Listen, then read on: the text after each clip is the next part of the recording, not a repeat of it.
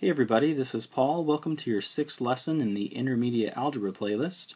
Before we start diving into algebra, there's a few things I want to make sure that you guys have down. And one of those things is adding and subtracting fractions.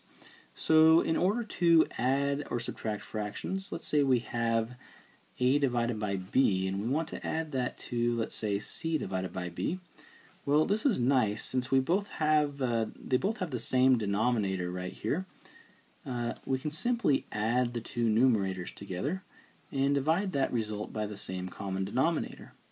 And likewise, if we have a divided by b minus c divided by b, since we have a b on the bottom, both of them are the same number, we can simply say this is a minus c, this numerator minus that numerator, divided by the common denominator b.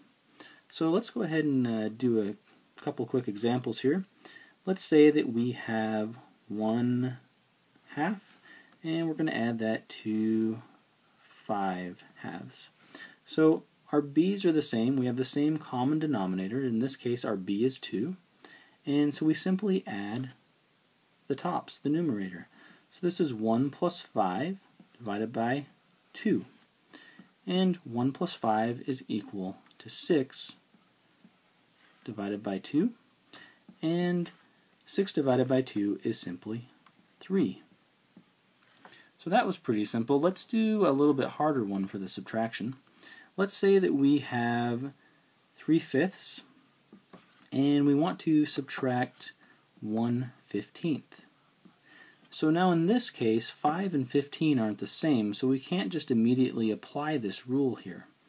So what we need to do is we need to change this into a 15 so that our denominators match. So what we can do is we can multiply 3 fifths by the number 1 because 3 fifths times 1 is still 3 fifths.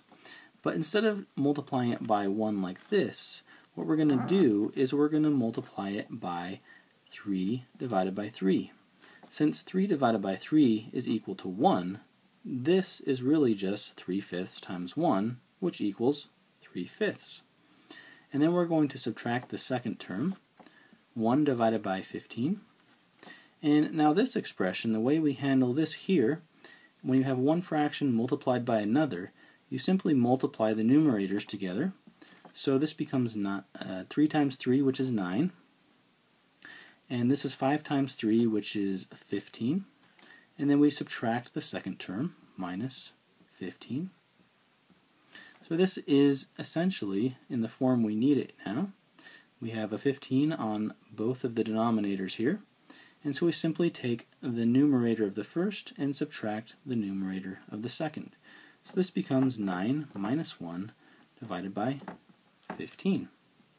And 9 minus 1 is equal to 8. And we have the common denominator of 15 now. So we just solved 3 fifths minus 1 15th is equal to 8 fifteenths.